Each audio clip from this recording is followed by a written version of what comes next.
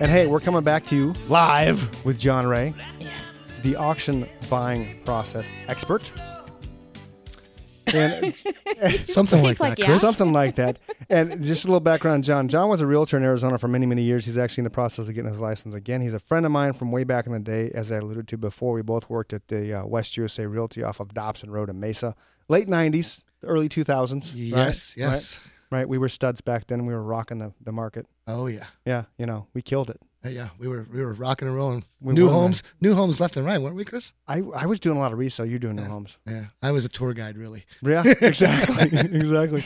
So, but uh, for the most part, though, John's always worked like the foreclosure and the auction market, which is why he's here.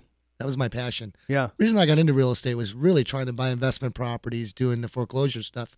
sure. Became a realtor by default because you know, good money and Yeah. freedom, and it was actually a lot of fun and learned a lot of things. Sure. You know, one of the things that uh, helped me a lot is by becoming a realtor first, knowing the market when I went into investment was a big asset. You know, Absolutely. just knowing neighborhoods, Yeah. values, things like that. So yeah, it really helped a lot.